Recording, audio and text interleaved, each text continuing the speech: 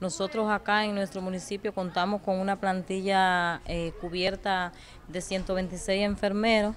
Eh, de ellos los tenemos distribuidos en los diferentes servicios, tenemos 100 el 100% de los consultorios cubiertos, eh, donde le hemos hecho capacitaciones para mejorar el perfeccionamiento del médico y enfermera de la familia.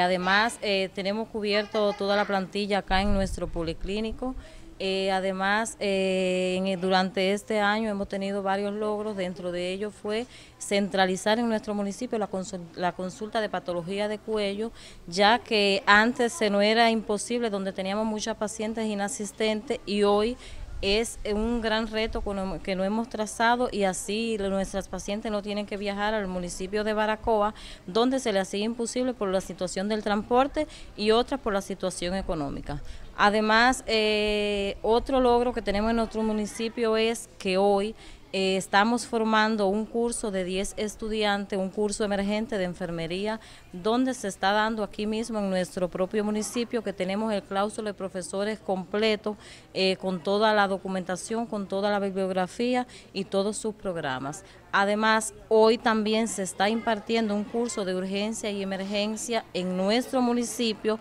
eh, por un tiempo de un mes, donde vamos a perfeccionar el trabajo en los cuerpos de guardia y en los consultorios médicos de la familia también.